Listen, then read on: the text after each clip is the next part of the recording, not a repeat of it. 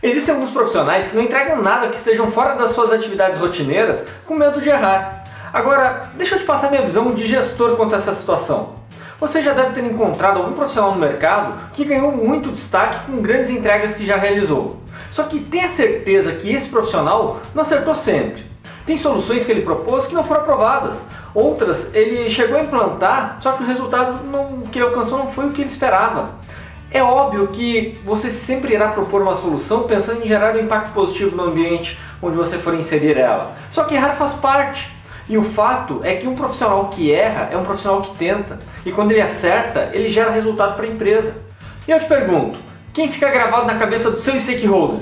O profissional que gerou o resultado para a empresa, que provavelmente ela não estava nem esperando que ele fosse entregar? Ou o profissional que executa muito bem suas atividades do dia a dia? Então, vai por mim, errar é melhor do que calar. E para colocar esse conteúdo em prática, você vai precisar utilizar a lente do planejamento. Clique no link no botão que está aqui nessa página e baixe a cartilha dessa pílula e conheça as 6 lentes do profissional de sucesso. Grande abraço!